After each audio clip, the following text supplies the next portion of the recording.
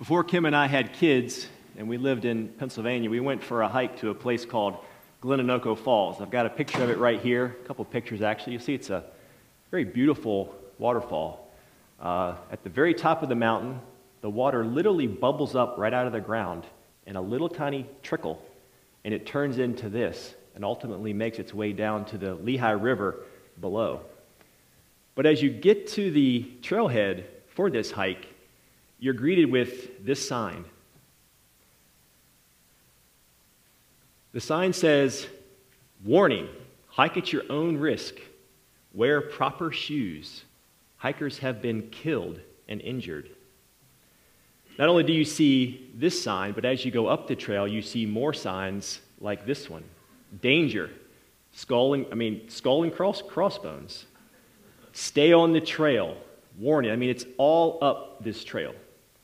And these are not just be careful signs that the Park Service put up. They put these up for a reason because since 1970, about a dozen people have been killed at this waterfall, and countless others had been injured when they ventured off into areas they weren't supposed to.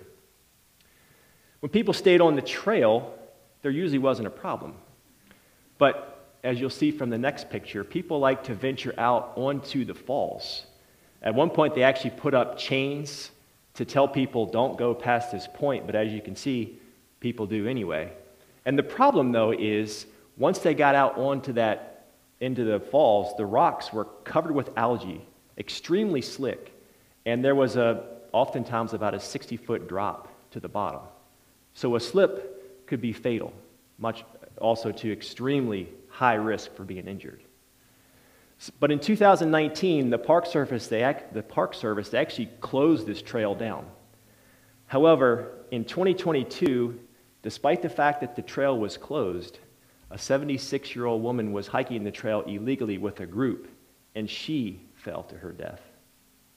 I saw an article in the Philadelphia Inquirer about that woman, and someone who was interviewed says, You can put up a fence, but people will either climb over it or tear it down. I share this story as we are nearing the end of Hosea because, like the people who chose to ignore these warning signs and the barriers for the falls, Israel has continued to ignore God's warnings to turn back to Him.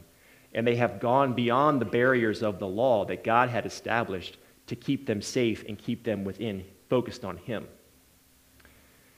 Today in chapter 13, we will see God's final judgment against the people of Ephraim in the northern kingdom. The people have been warned and warned and warned. You've been through this. They've been warning, it seems like, warned every week. But they still are not turning back to God. Ultimately, in this chapter, we see a foreshadowing of what will be Israel's final fate, or Israel's fate. Like we saw last week, Hosea will once again point back to history at a time in, in Israel's history to remind them of God's faithfulness and show the people that what they are doing here in this context is wrong.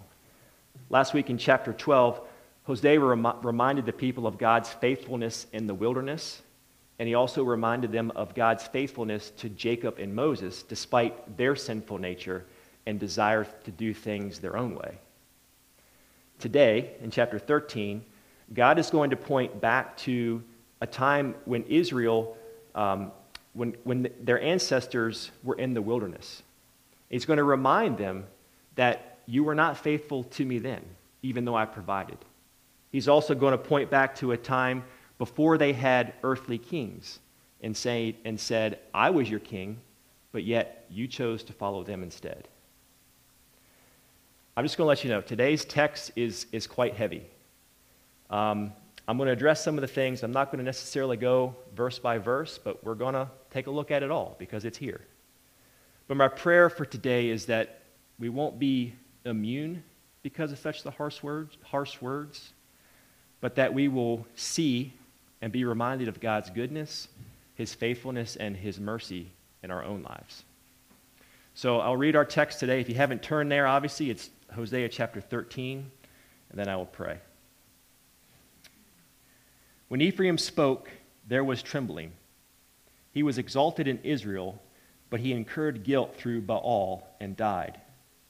And now they sin more and more and make for themselves metal images, idols skillfully made of their silver, all of them the work of craftsmen. It is said of them, Those who offer human sacrifice kiss calves.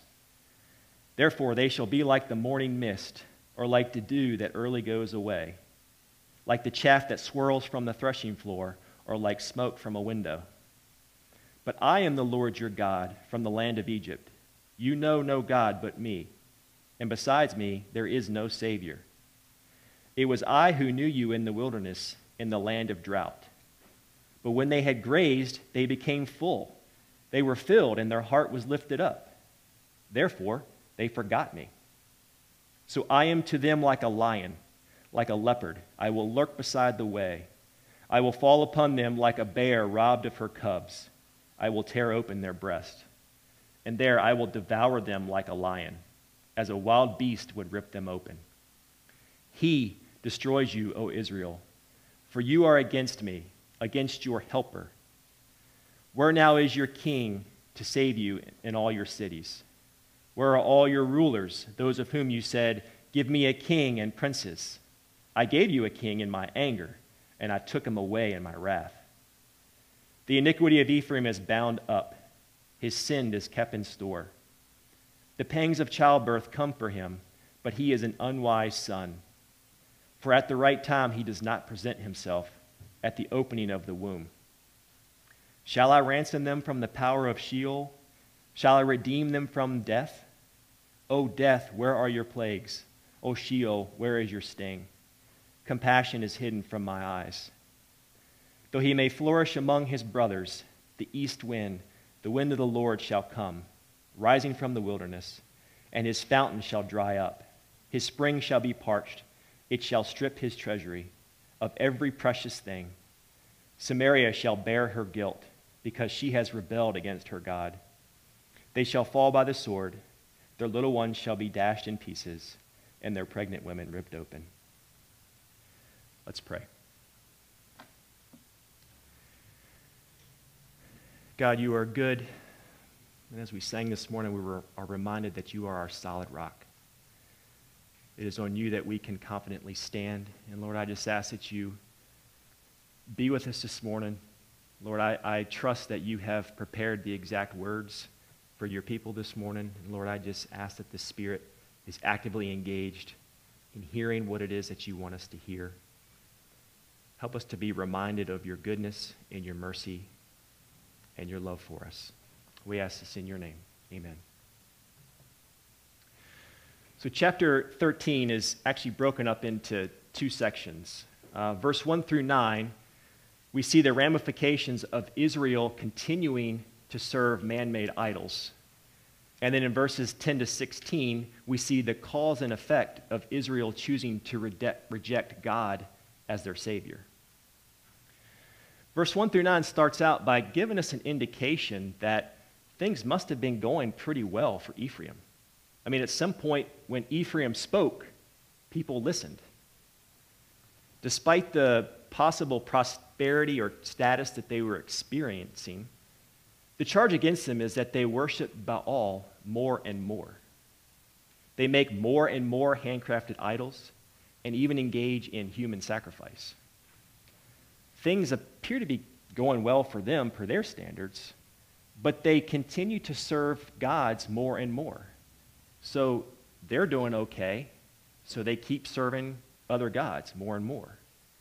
Ultimately, they are rejecting the God who has given them all this goodness. Because of this, God warns Ephraim of the looming destruction in verse 3 by using the images of the morning mist or dew, chaff on a threshing floor, and smoke dissipating from a window. They will not remain. In verse 4, Hosea begins the first history lesson, reminded the people again that he is the one who brought them out of Egypt and that they know no God but him.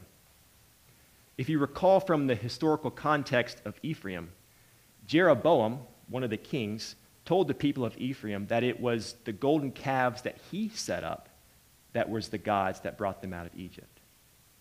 God is trying, though, to, to remind them that, or is telling them that that is in direct contradiction to the law that he handed down through Moses.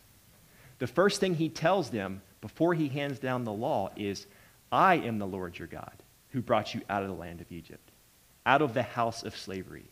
You shall have no other gods before me. In verse 5 and 6, God reminds Ephraim that he knew their ancestors when they were in the wilderness. He wasn't just with them, but he knew them. If you stop, stop to think about the reality of the situation and the history of the Israelites, God knew in advance that his people would turn from them and that they would reject him, yet he rescued them out of Egypt anyway. He knew they would follow other gods, yet he was in covenant with them. He rescued them despite their desire to turn from him.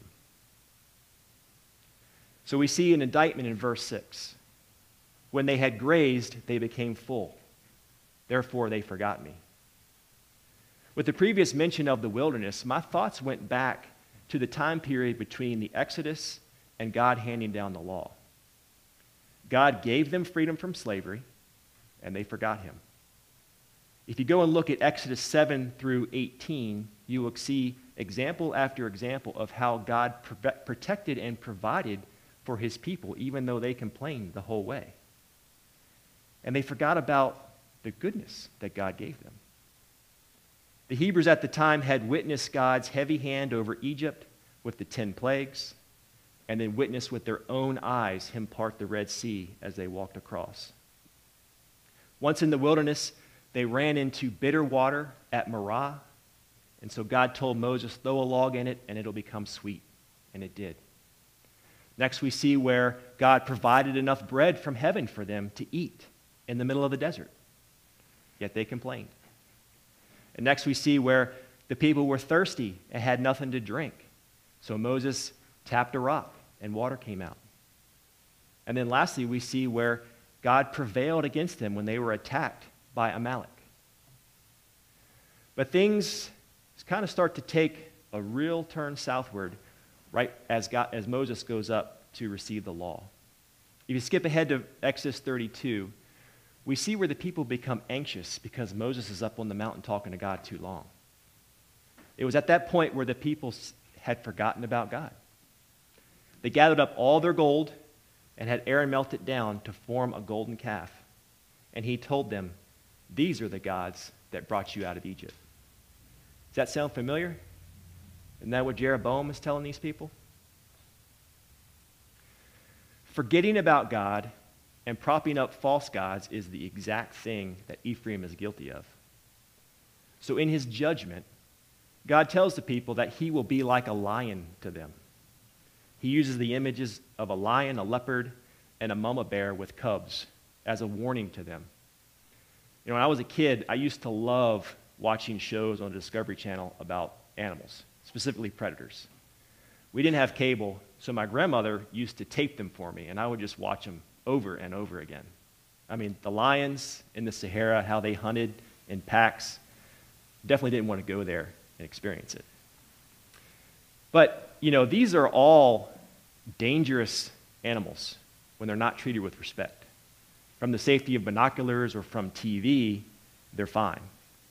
But if you get too close, or you get in between a mama bear and her cubs, they're going to respond the way wild animals do.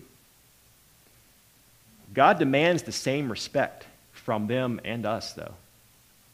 He is like a roaring lion. And because Ephraim is not respecting the boundaries of the law, nor responding to his warnings to return to him, they are teetering on the brink of destruction. So, the first section of chapter 13, the people have ignored warnings, they have stepped over the barriers of the law, but things seem to have been going okay for them. But now, at this point, they're standing on the edge of a 60 foot cliff covered with slick algae, and they don't even realize that one more step could be fatal. What they fail to comprehend is that God would save them if they just turned around and asked. So now we transition into the second half of chapter 13, where God uses another moment in history to compare what's happening then to what's happening now and why they are wrong. The judgment against them in verse 10 is that they have replaced God with their kings. In verse 9, God describes himself as their helper. But because they have turned against their helper, the text says, He destroys you, O Israel. He asked them, Where are your kings? They cannot save you in your cities. This is a foreshadowing of what will soon come when the Assyrians invade. And Israel's earthly kings will not be able to protect the cities or the people. The earthly kings that they had asked for and that they put into place. But only God can be their Savior. This takes us to history lesson number two in verse 11. The text says, I gave you a king in my anger and I took him away in my wrath. God is pointing them back to the time of the prophet Samuel before they had kings. Samuel had appointed his sons to become judges, but the elders did not like that. They wanted a king instead. So you can read about this in 1 Samuel 8. But God comes to Samuel and he, and he says, Go ahead, give him a king. It's not because they're rejecting you, but it's because they're rejecting me. But before Samuel gave them a king, God instructs him to warn them about what a king will do. And so in 1 Samuel 8, you can read that Samuel tells the people that an earthly king will not be in your best interest. They will rob from you, and they will lead you astray. The character of an earthly king will be in direct contrast to their true king, God, who doesn't rob, but he provides who won't lead them astray, but he will shepherd. God is righteous and holy, but an earthly king is not. Despite the warning, though, the people still demand a king. So, in his anger, God gave them one. Maybe you can remember a time in your life, potentially as a child, where your parent was frustrated with you because you were asking for something and they knew that whatever it is you wanted wouldn't be good for you, but they let you do it anyway because they wanted you to learn from your mistake. The problem here, though, is Ephraim didn't learn from their mistake. God told them not to establish kings, but they did it anyway. Now we, here we are years later, and they are continuing to worship the kings that they're putting in place. And in verse, thing, verse 13, God points out that that decision is fatal. But in verse 14, God tells them, I have the power to save you. He is offering a way of return, but their eyes and their hearts are postured towards the kings. Samuel told their ancestors that the day would soon would one day come where they would cry out to him, but he would not answer. And now that day is almost here. God gave them the kings, God gave them the prosperity in the land. God loved his people.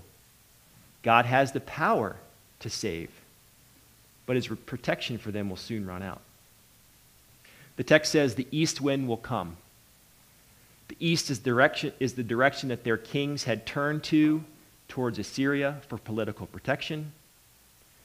And it's from the east that Assyria will come to rob them of the good things that God allowed them to build up all while turning further and further away from him. You can read about the reasons for the destruction in 2 Kings 17, but I want to read 2 Kings 17, 12 to 14. It says, And they served idols, of which the Lord had said to them, You shall not do this.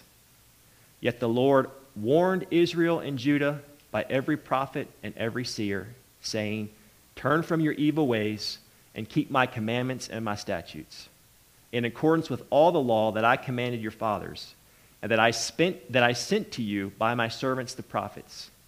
But they would not listen, but were stubborn born as their fathers had been, who did not believe in the Lord their God. God has warned and warned and warned. We've come to a time where there are no more warnings. Ephraim has rejected their Savior, the only king who can save them. But despite the continual warnings and being turned away from God, the words in the first sentence of verse 14 are just dripping with God's mercy. If you have the ESV, you see this as a question Shall I, re- shall I ransom them from the power of Sheol? But if you take a look in the King James, the NIV, the CSB, and many other translations, this is actually a statement. It says, I will ransom them from the power of the grave. I will redeem them from death. The people are standing on the edge of the cliff because they have rejected the warning signs, all while slapping God in the face. Yet he says to them, I will ransom you. Isn't that what Christ did for us on the cross? The Assyrians eventually overtake the cities and the buildings that the people had built up. They seized the metal and carved images that the people had made. The kings are destroyed, and Ephraim is ripped from the land. The land God gave them, the land that brought them goodness and prosperity. However, Ephraim cherished those things more than the God who gave them those things. All things that, when times were good, they propped up. When the, Assyrian, when the Assyrians invade, yes, it was brutal for many of the people that lived there. And unlike the image of the lion, the leopard, and the bear, and, uh, the, the words in verse 16 most likely are not image. Assyria was a very barbaric nation. When the east wind came, there was carnage. But 2 Kings tells us that the Assyrians did not kill everyone. They took the people captive and scattered them all over the Assyrian Empire. They were taken away from their idols. I couldn't help but think about a relationship between a parent and a child if a child is addicted to drugs. I recently watched a documentary, a documentary on opioids in the U.S., and they followed a, a father and daughter who the daughter had become addicted to pain medications after a very routine surgery. The father tried and tried and tried to get help for the daughter, but that addiction to the pain meds eventually turned into an addiction to heroin. And then the father learned about this thing called fentanyl and how it was extremely deadly. So, in a last ditch effort, the father sends his daughter away to get help with the hope that one day he would return to her clean. He removes her from that temptation. And in the process, he cuts, the, he severs the ties of that drug and that temptation that were fatal if she had taken the wrong thing. The only reason God saves some of the people who did nothing to deserve to be saved is because the good father made a covenant with his children.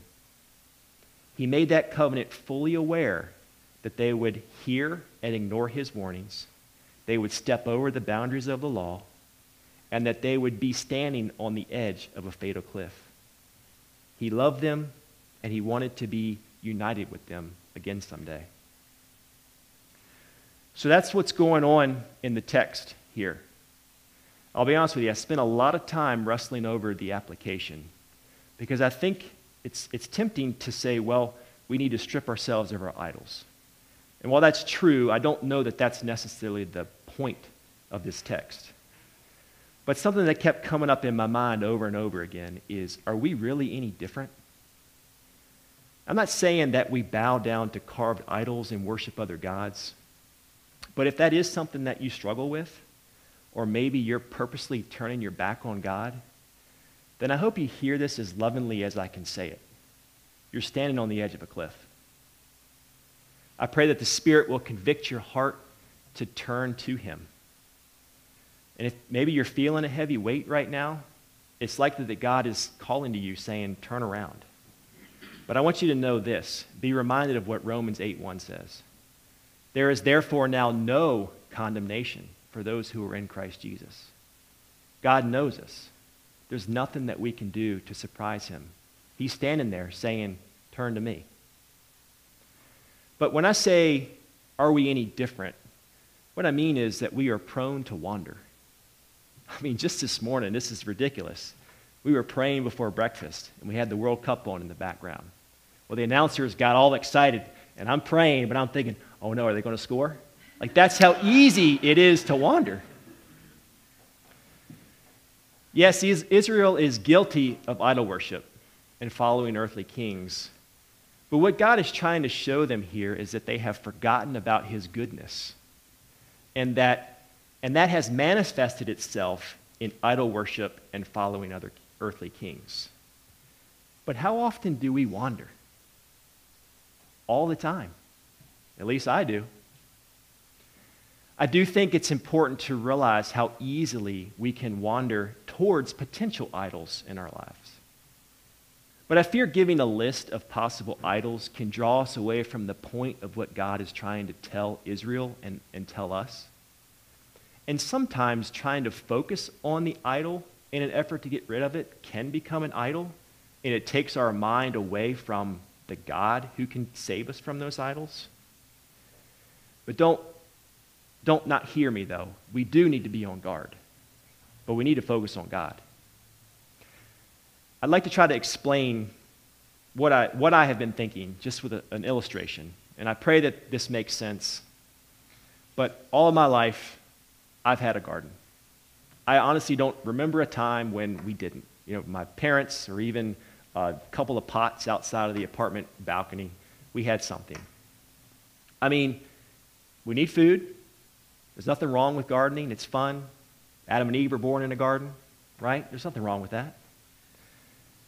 Growing a garden can also build community with the people around you. Terry and I had a competition this year to see who could have the first tomato.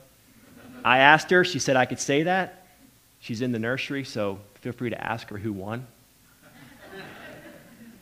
but, you know, since it's a hobby of mine, I tend to watch and read other people who garden and homestead and all that kind of thing. And one thing that I've noticed since about 2020 is people who garden and farm and you know whatever, something that they did out of enjoyment or just to grow their own food has now turned into something that they do out of fear. They fear that, well, we saw what happened in 2020, so now we have to do this ourselves. And I'm not saying there's anything wrong with growing your own food, but what they fail to realize, I've completely lost myself in the notes. Um, what they fail to realize is that God is the one who provides it all. So we grow it. God is the one who tells the seed when to germinate. God is the one who brings the rain.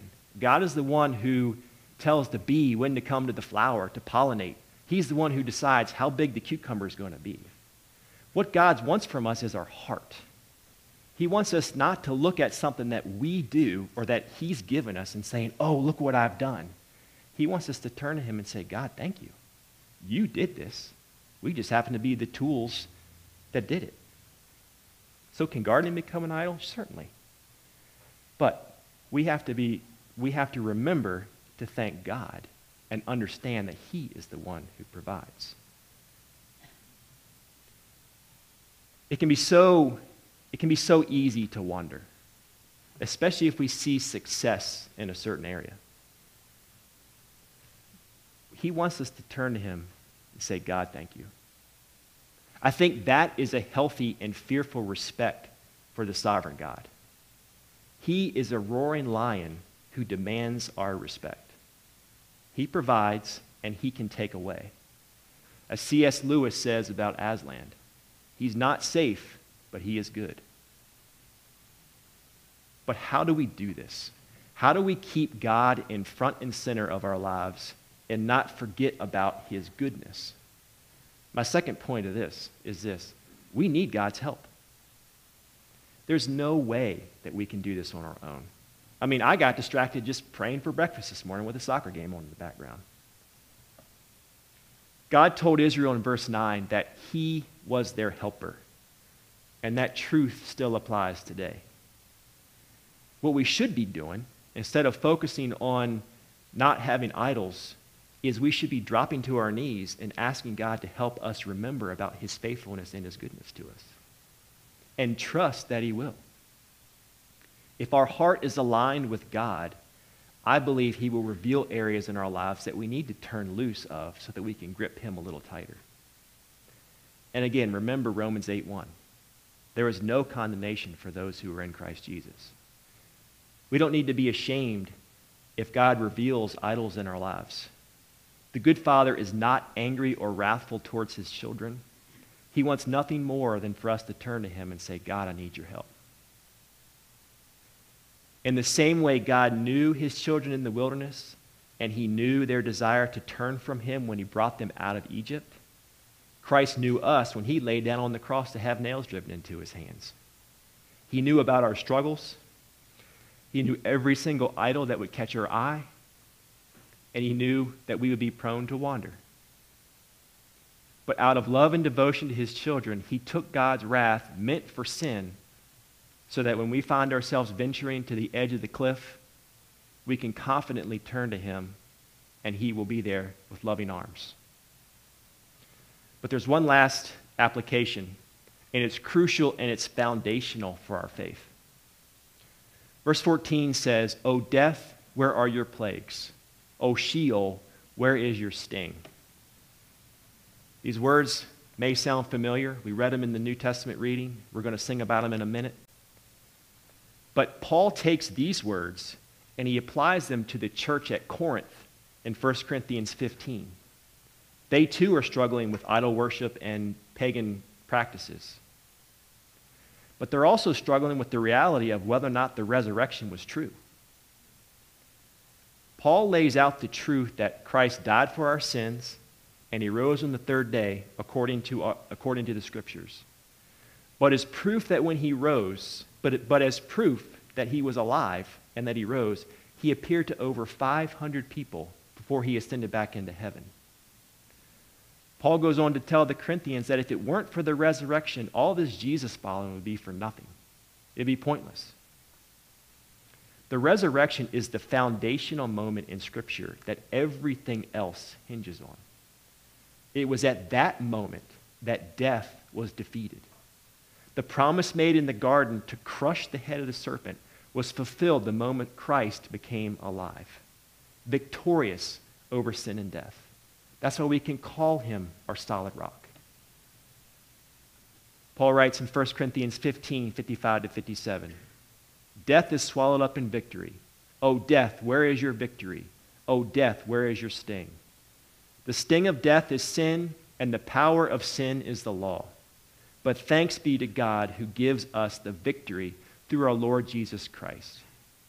So, our charge is to remember the resurrection the goodness of the resurrection. God told the people to remember his goodness in the wilderness, and we are charged with remembering the fact that he died and he rose. Therefore, my beloved brothers, be steadfast, immovable, always abounding in the work of the Lord, knowing that in the Lord your labor is not in vain. Let's pray.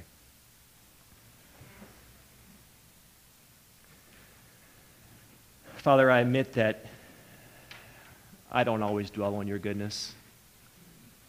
And I'm sure that many of us here could say the same thing.